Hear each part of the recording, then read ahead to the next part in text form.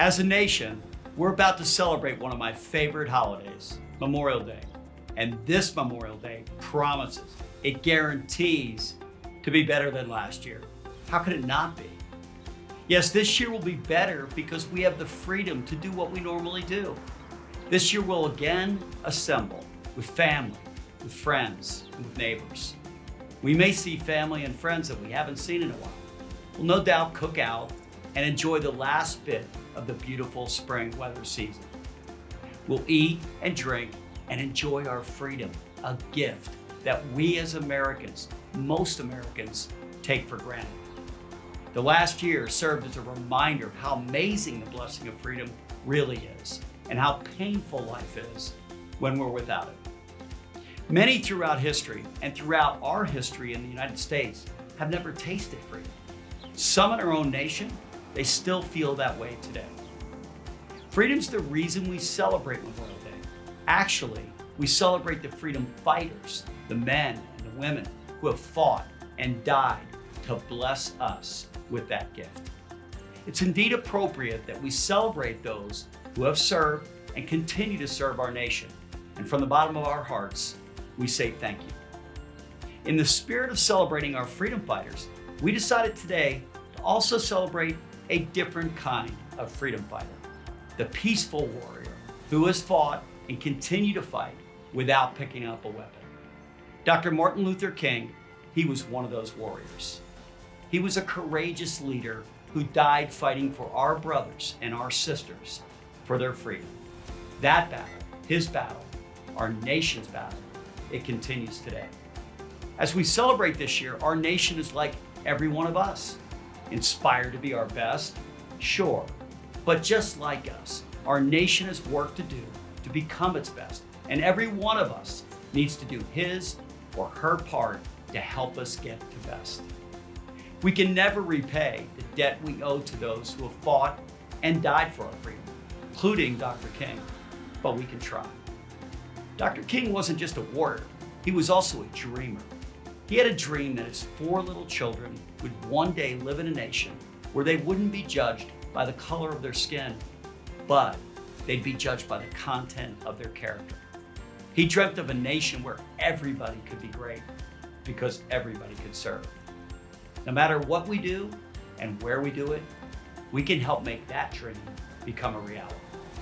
Best, it calls us to serve our family, our friends, serve our coworkers, serve our customers, you, serve our neighbors, and serve our nation.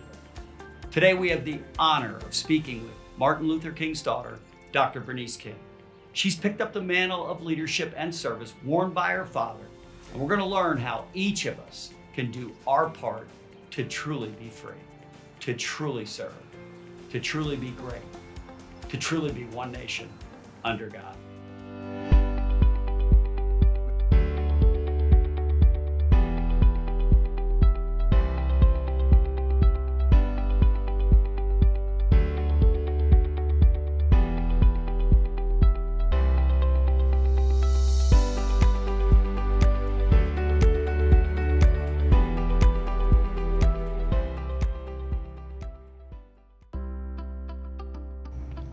I'm Bob Kalinsky.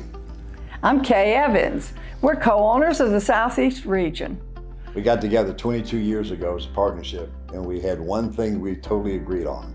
And that's service, giving back to our community. It's very important to us through our offices and through ourselves personally. Our market centers, our agents, our staff, our leadership are all committed to service in the community.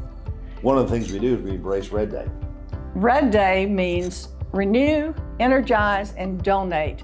And that's what our market centers do on that red day. They renew, energize, and donate something important back to their communities to say thank you. This is our national day uh, all across the world with Keller Williams where we shut down and give back. That is so cool because in, in the um, Matthew's 25 verse 34 through 40, God said you have to give back your riches. You have to give back um, from the kingdom to help. One of my personal things is auto gift. I love to give to auto gift because they give cars, free cars, to women who cannot afford transportation, have kids, and are on their own. I work with Every Woman Works, and I have been working with them a number of years. And it is a program that prepares women who've been in a hard place in their lives to get out, get a job. It teaches them life skills, but it also teaches them work skills. I love Every Woman Works. We're a service based company. Let's take a look at some of the things that some of our companies do to serve their communities. Today. This is Gene Whitten. We own and operate Better Homes and Gardens Real Estate for South Florida. And the way we give back is through rebuilding America. Hi, I'm Dory Hicks with Keller Williams Peachtree Road. I serve my community through the many charities our agents help the Solidary Food Pantry in Sandy Springs, the Fugees Academy in Clarkston, Georgia, and anything relating to pups. Hi, I'm Greg Sanders with Sanders Team of Realty One Group Edge. One of the ways that I serve my community is through a partnership with 104.7 The Fish to support families in need during the holiday season. Hi, I'm Brett Caldwell with Keller Williams Heart of Atlanta Group here in Atlanta, Georgia. I serve my community through the Solidarity Sandy Springs organization, which is a food pantry and a meal service organization. Hi, I'm Inga Lashinsky with Keller Williams Buckhead. We serve our community through our annual Red Day. Hey guys, I'm Jason from Keller Williams Atlanta Midtown, and I serve my community through Wholesome Wave, Georgia. Hi, I'm Jean Rawls with Keller Williams Realty. I serve my community in various ways, one being the Humble Hustle organization. Well, this is Jim Alexander at Keller Williams Atlanta North, and I was so proud of our office last week. We were able to raise enough money to buy 21 kids' beds, and that organization is Children Without Beds. Hello, my name is John Castelli, and I'm with Castelli Real Estate Services in Fort Lauderdale, Florida. And we serve our community here by our check requests have a place where the agents can donate from their commission to the Broward Partnership for the Homeless.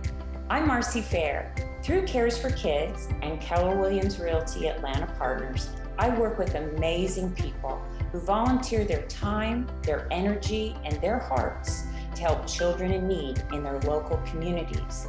Hi, I'm Matt Pitts with Keller Williams. I serve my community through Rescuing Hope here in Marietta, Georgia. Hey, this is Ryan Graham of Community and Council Realty Group of Keller Williams in town Atlanta. We serve our communities by each focusing in on something that's important to us and something it's a way that we can improve our communities. For me, that's the Olmsted Linear Park Alliance. Everyone can be great because everyone can serve.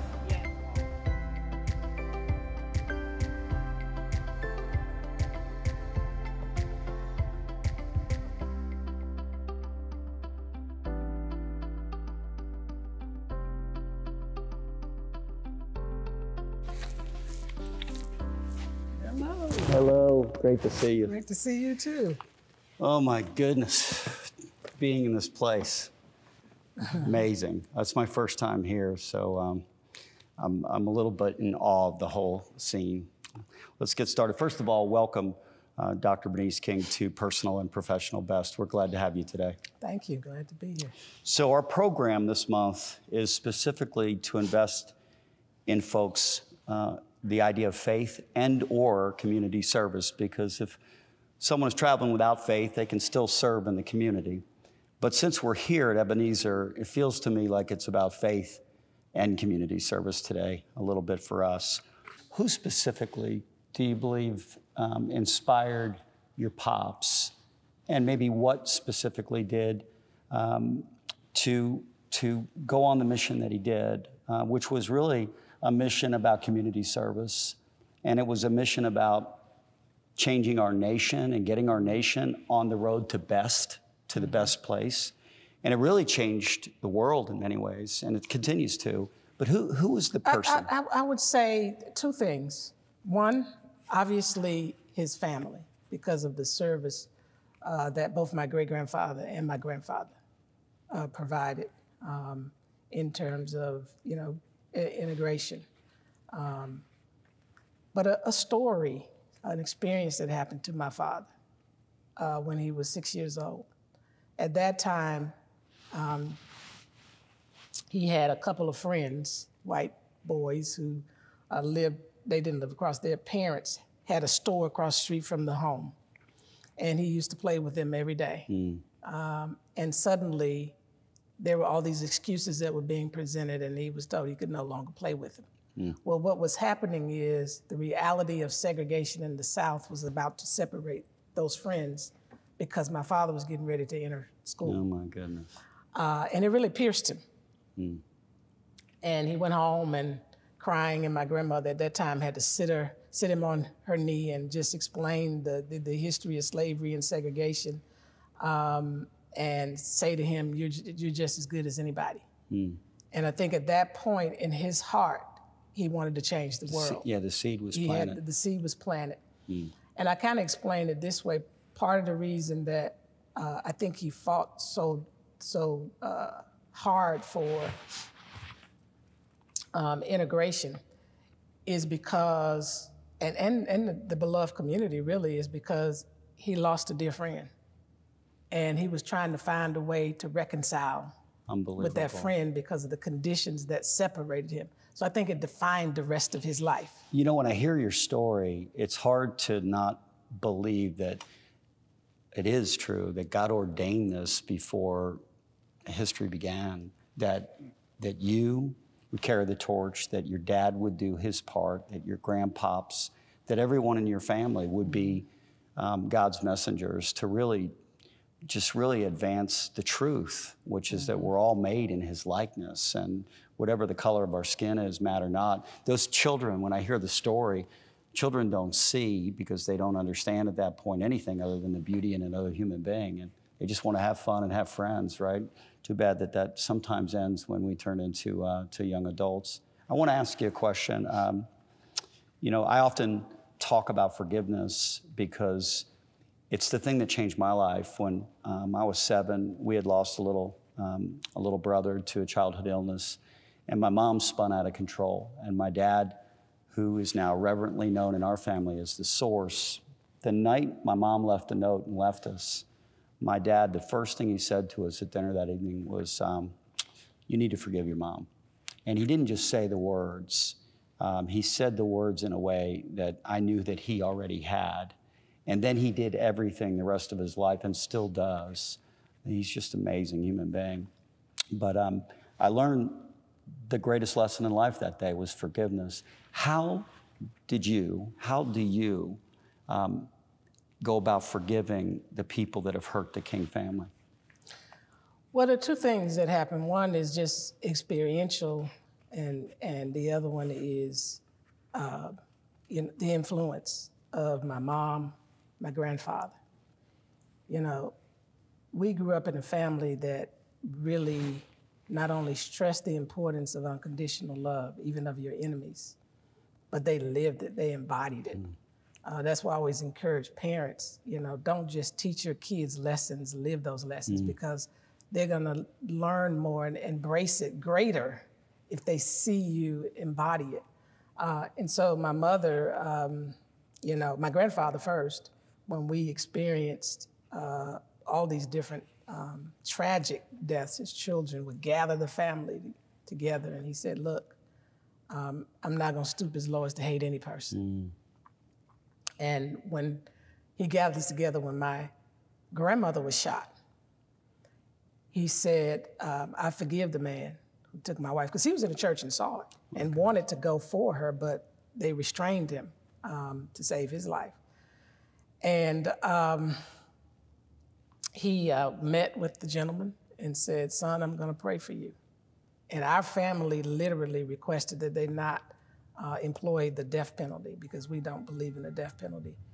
Um, and so having that example, and then my mother, who used to always say to me, and my siblings, you know, I don't hold grudges. And I knew of the experiences in her life where people hurt her, betrayed her, and I watched how she still extended goodness and kindness to them in spite of that. So I had that ex- powerful example. But I had to go on my own personal journey, even though the, the example was there, of processing through my own um, interpretation eh, of what happened to us Sure. through all of these deaths. Um, because I, I really became very angry. And at one point I hated, I hated white people. I, I'm serious. I, nobody knew it I understand, because I, sure. the kind of house I It would be owned that I grew natural to in. do that, by right. the way. Yeah, sure. So internally, I, I that was welling up inside of me, and I had a strong, stronger hate for white men. And so, it was uh, an interview that I did, and it, it wasn't when I was 20. You know, I was carrying this well into my 30s. Uh, I did an interview in 2000, so I would have been what 36, 37 at that time, um, with James Robison.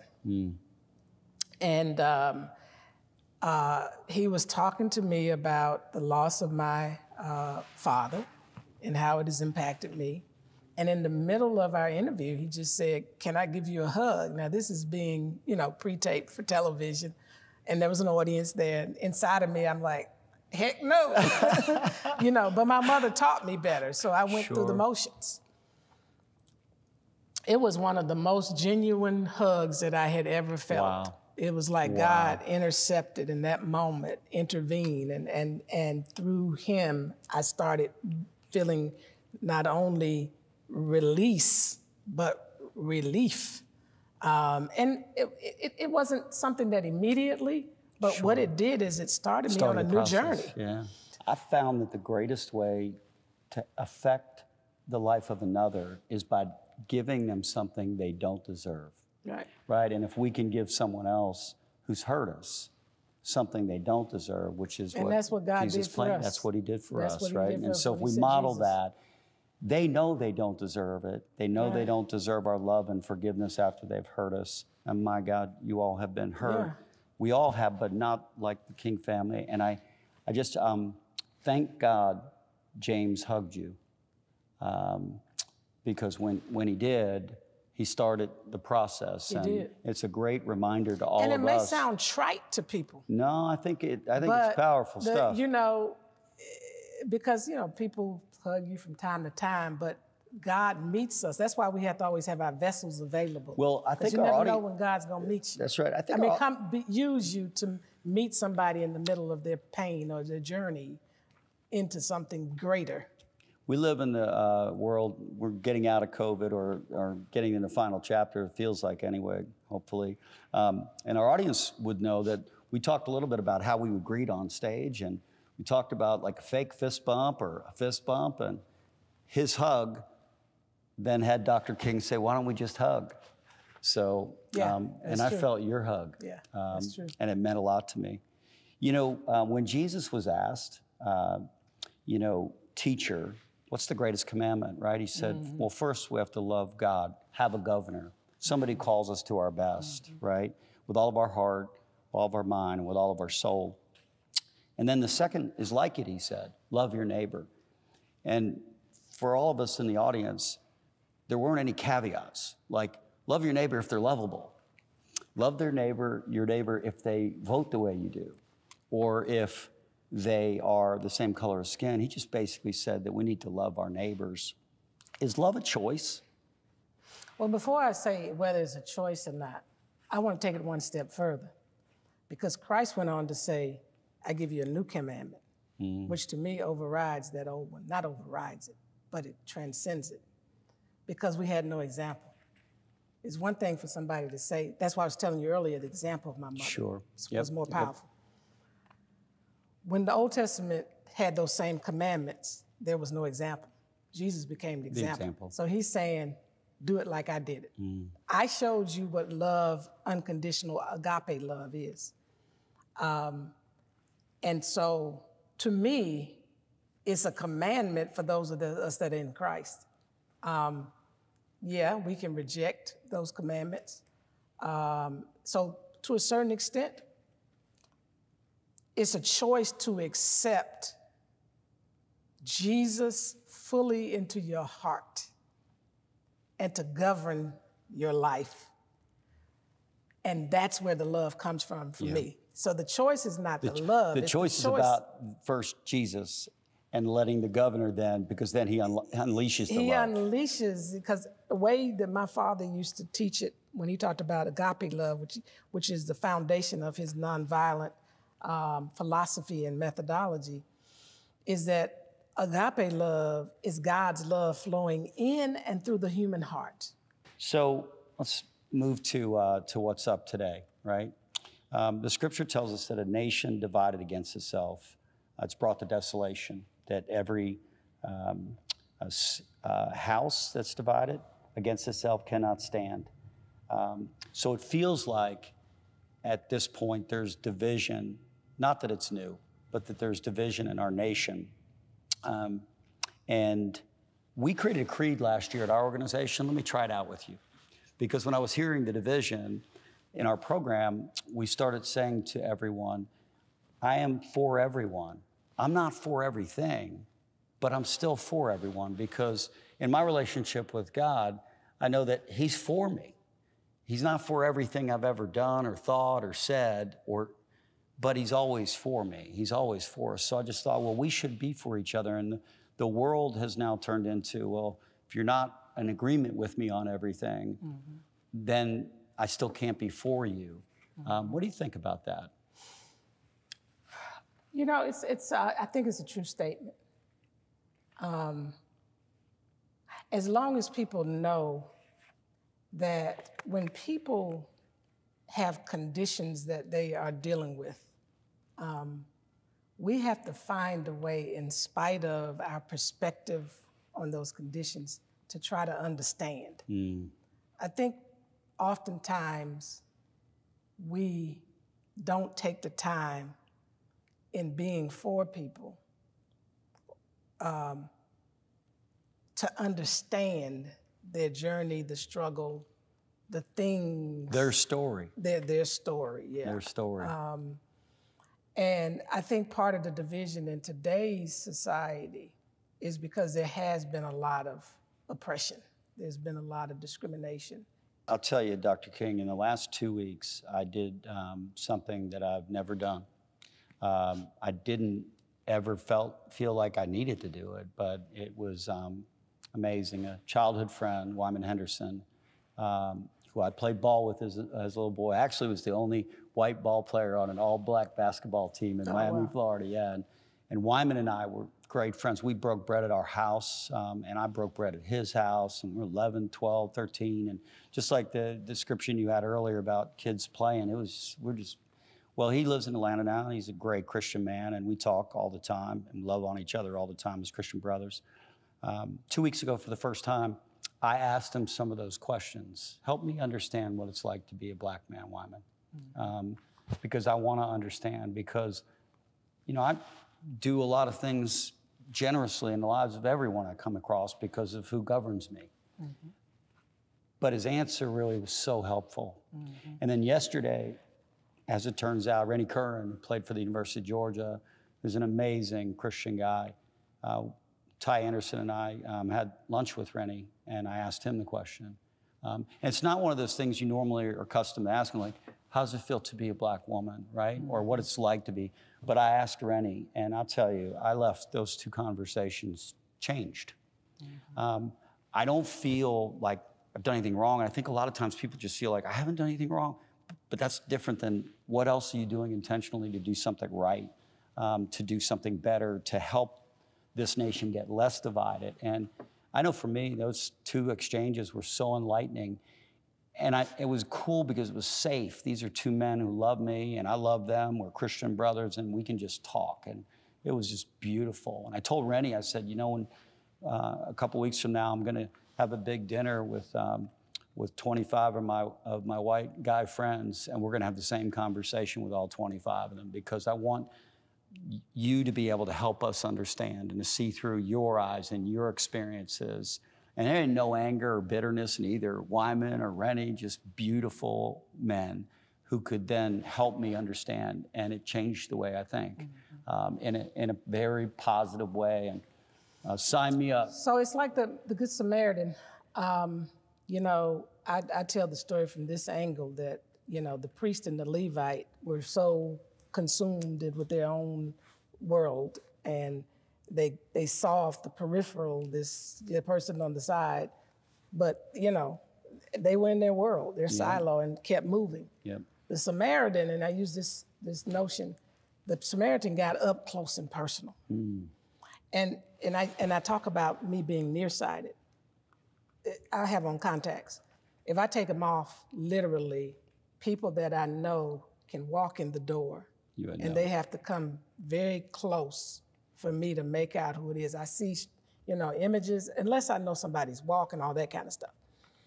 I said, but when I put those glasses on, they pull it close to me and things become clear. Clar- clarity happens. And I can see it for what it is.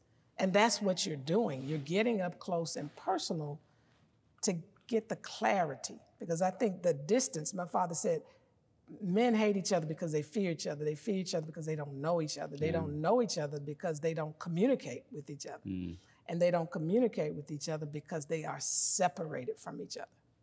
And that's why removing those barriers that existed in the South, those signs, black here, white here, keeping people separated Oh, and divided, Mm. um, is, is why he had to work in that area to get those physical signs out of the way. Now we got to get the signs in our heart, because I say the signs have been removed, but now they're etched in our heart. So now we got to get those out of the way and get close and get personal and have these, you know, points of connection to gain greater insight so that being for me now translates into the compassionate action to ensure that the things in our society that continue to bring harm and hurt to me and the people that look like me are changed and transformed. Um, so we, there's a lot of white, black, brown people that I know that love. We just need to do a better job in listening to each other and talking to each other and asking each other. And then we need to do the things every single day, set the example like we talked about earlier, right? Be the reflection of the example so that others can can get involved with the movement of making America less divided and more united, which is what we're all about. If your pops was, I know he's here with us right now. Um, it's uh, amazing and awesome to feel it. But um, if he was talking to us right now, would, would he suggest that since I have a dream speech, that there's been progress? I mean, nobody can doubt, and certainly he wouldn't, that we've made substantial progress, um, but we still have substantial ways to go. Um, you know, there are things in our society today that are different from when even he was assassinated. Um, there is, uh, you know, he got a chance to see, you know, blacks and whites come together in integrated audiences. Uh, for instance, here in Atlanta in 1965 in January, the city finally decided to honor him after winning the Nobel Peace Prize. And it was the first integrated dinner at a downtown hotel. Wow. And it was because of the leadership of, um, um, I always forget Woodruff's first name, um, the, who was a part of the Coca-Cola company, and, and really going behind the scenes with the, the corporate leaders say, you know, this is the right thing to do, you know, Mm. and if we don't, it's going to impact, you know, who Takes we are courage. as a city. Takes courage Right. to, to do that. man. And it's the reason why Birmingham didn't come the, the, the economic engine of the South because Atlanta, that's where they get this whole notion of the city too busy to hate. Atlanta transcended that and said, no, we're going to put that aside. Um, and, and so certainly, you know, that kind of coming together, he, he, he got the witness. Um, but I think, and, and the tremendous amount of political progress he did not get to see. You know, the difference between now and back then, we weren't in the room. We weren't in the state houses. We weren't sitting on we weren't the president of the United States. judges' benches. Yeah. We weren't president of the United States. We weren't on Capitol Hill. We weren't in the state capitals. Now there's a presence of, of African Americans there. So he would certainly applaud um, the political prog- pro- progress in that regard in terms of the, um, the ability to, to, to elect people into office. But he was working very diligently on the area of economic injustice um, at the time of his assassination when he called on the Poor People's Campaign. And um, I think he would still be troubled that the things he wrote to us in his book, Where Do We Go From Here? Chaos or Community, in that last chapter, The World House, where he talked about this being an interrelated uh, world, that we literally live in this world house. And these are our brothers and sisters all over the world. Right. And he said, we must learn how to live together as brothers. And I had sisters, and he was brothers for us back then meant everybody. Right. Um, or we will be forced, uh, to, or together we will be forced to perish as fools. And then he went on to talk about how we've made so much progress scientifically and technologically, you know, how fast we can get to places, Sure. you know, um, that we couldn't in the days of Yeah. the horse and buggy and all of that. Um, but now the airplanes can get us to another country this quick. Um, you know, the growth in technology. Um, but he said our moral part, our moral self lags. And so we've got to overcome that lag so that as we advance technologically and scientifically, we don't destroy ourselves Wow. in the misuse of our own instruments. Mm. And he said, so it's going to require a revolution of values. Yeah. And he said, where you put people at the center. So he said, we must rapidly become a people centered society rather than a thing centered society.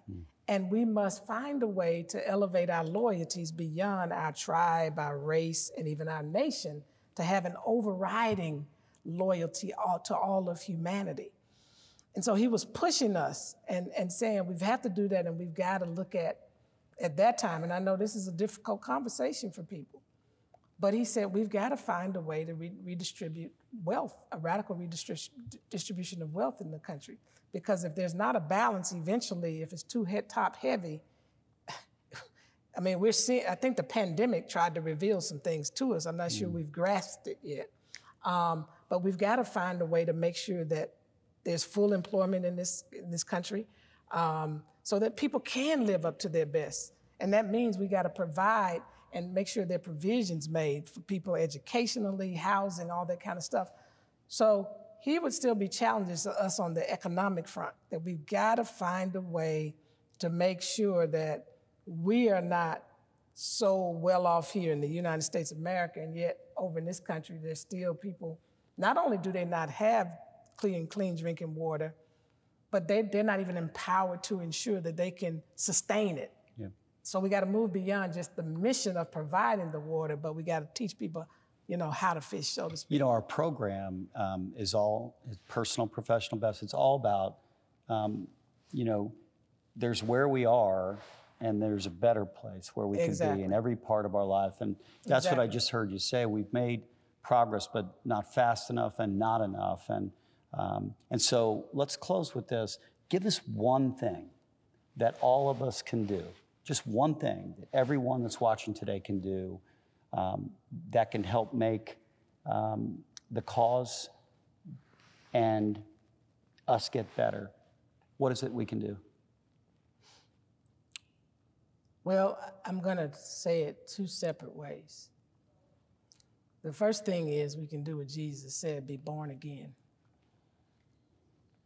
Um, we've got to change our, our mindsets um, because there's some things, unfortunately, as much as I love America, there's some things that have been faulty in the, in the development of our country that we have to correct. Um, we have a campaign now at the King Center called Be Love. And my father said, power at its best is love implementing the demands of justice, and justice at its best is love correcting everything that stands against love. So there's some things that we have to correct in our country, and we have to do it in the spirit and in the heart of love. And in order to do that, the born againness, we got to kind of purge some of the ways in which we have been um, taught and developed. I hate to say that. Uh, and, and the reason I say that is, for instance, I always tell people the best place to start the journey to kind of helping America correct course on some things, if you can't physically go, I don't know if there's something online, but there's a place in Montgomery, Alabama, where the movement started. Um, and it's called the uh, Peace and Justice, um, Peace and Justice um, um, Museum, from enslavement to mass incarceration. And it was founded by Bryan Stevenson, uh, the movie Just Mercy, many people may know about. Um, and, and it really documents how this country was developed through the white through white supremacy in our systems and how slavery started and how that has been perpetuated.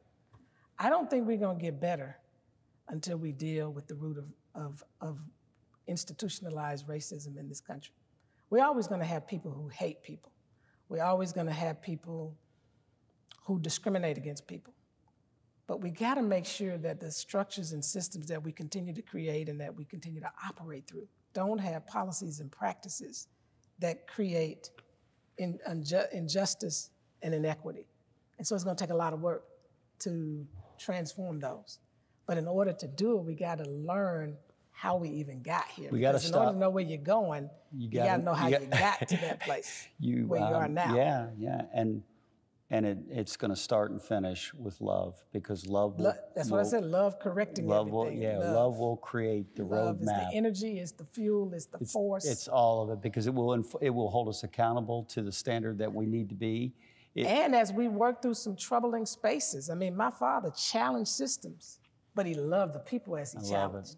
That's love why, and we teach in the philosophy of nonviolence, nonviolence seeks to defeat injustice, not people. Hmm. So that's why certain things, when you see him, he is not trying to demoralize people, diminish people. He's not trying to win over them. He's Right. trying to win them over. the the argument on social media, right? Um, he he did much better than that, much better Oh than yeah, that, much more powerful. batter back and forth I'll, like I'll leave you with this. We have um, in our office in Alpharetta on our wall. It's been on there for um, well since we moved into the building.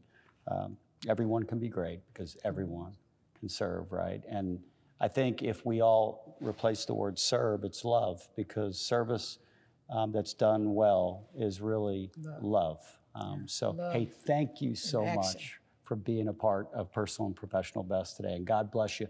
And I want to give you a big hug.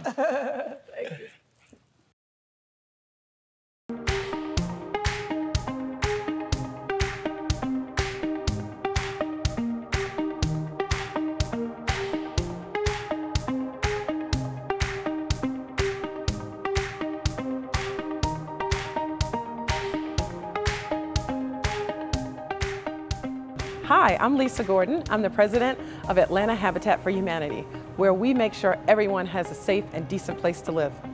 Since 2015, we have been expanding our mission. We have served over 200 families in 2019 and over 150 annually. Even in the pandemic, we have the ability to serve. We are about building people and community. We are so excited about many of our partnerships, especially with Supreme Lending. They built eight houses with us. During COVID, they were one of our steadfast partners. Without them, we couldn't have built. We built virtually together, but it was still providing homeownership to a family. Thank you, Supreme, for everything you do, the way you serve the community, and the way you impact our families. We are so excited that many of our partners in the real estate industry, like mortgage lenders, realtors, builders, are part of building homes. We need you to be part of our mission. Help us serve families, help us serve the community. As we get back to building together, we invite you to join us. Help us build a better future. Once again, I'm Lisa Gordon, and I'm reminding you that everybody can be great because everybody can serve. Everybody can be great because everybody can serve. This proverb, this transcendent truth, was exampled today by our partners serving in the community, and by Supreme Lenders serving you daily, and by Supreme serving in our community with our neighbors and our partners at Habitat. And today we were all reminded of the legacy of service by the King family over the last hundred years. Their service, laser focused, inspired by the ongoing battle for freedom. A battle fought by the King family and many other warriors, past and present, who we will all again celebrate this Memorial Day. And this Memorial Day, it will be different than last year, as this year we're closer to getting all of our freedom back. Most of us are. We need to keep fighting to ensure that the gift of freedom is offered to all men and women because all men and women are made in the likeness of God. My big takeaways. We all need to do our part as peaceful warriors to ensure that Martin Luther King Jr.'s dream comes true for all of our neighbors, as all of our neighbors were made in the image of God. In doing our part, we'll all be called to forgive others. Yes, doing our part will call all of us to forgive others and to accept and love others, even if they've hurt us and even if we don't agree with them. And finally, doing our part will call us to serve others, the greatest calling in history, a calling that all of us can answer. If we do, we'll help unlock our personal and professional best, and we'll help our nation to become its best. One nation, under God, indivisible, with liberty and justice for all.